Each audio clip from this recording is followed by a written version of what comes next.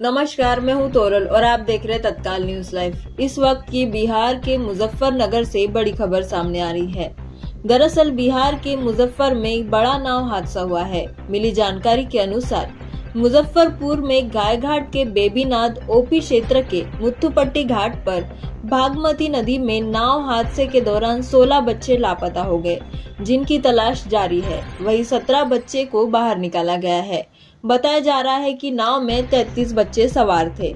मिली जानकारी के अनुसार मुजफ्फरपुर के बेबीबाद ओपी इलाके के भटगाम गाँव के मुथरपट्टी घाट पर गुरुवार को बड़ा नाव हादसा हुआ है। इस हादसे में 30 से अधिक लोगों के डूबने की खबर है, जिसमें दर्जन भर लोगों को बचाया गया है।